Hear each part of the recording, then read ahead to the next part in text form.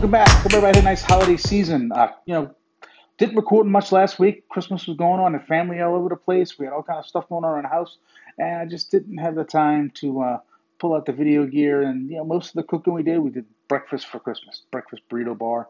Oh, it came out great. And for Christmas Eve, everything got kind of canceled, so we just did some uh, like a quick little appetizer night here at home. Um, so this is kind of the first thing I've really cooked in a couple of days, and I'm, I'm kind of excited. I'm excited because we found this like mixed shrimp, mixed seafood bag at Aldi. It's got shrimp, it has uh, scallop, it has some uh, mussels in it, it's got some calamari all mixed in together.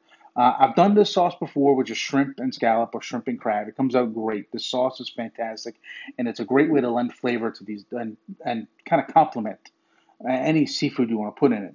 Um, basically, I'm going to cook down some shallot, add in some butter and some um, some white wine, reduce that white wine down. I'm gonna add some fresh tomato and some garlic and a little bit of uh, Parmesan cheese and put in a little pasta water and dump the pasta in. Real quick, comes together really quickly.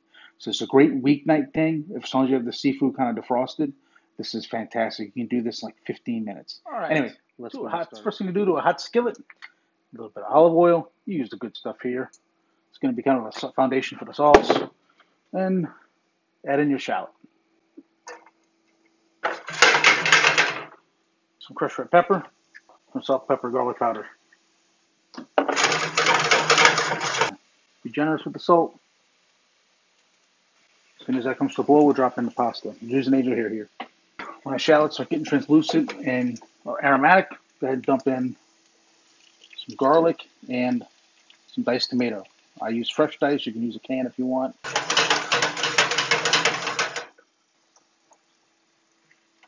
When you can smell the garlic, I guess is kind of where you're going to move on to the next thing, which is going to just to add in some uh, white wine. I'm also going to drop in some parsley and some basil. So, it's soft right now. That's kind of what we're working right now. We're going to go ahead and add in the wine.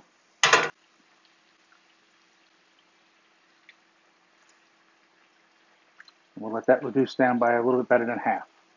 While that's reducing, we're going to go ahead over here and add in some uh, angel hair pasta. This should be enough. Status update there. That's kind of where we're at. It's almost there. A little bit more butter, juice of a lemon. Some of the lemon.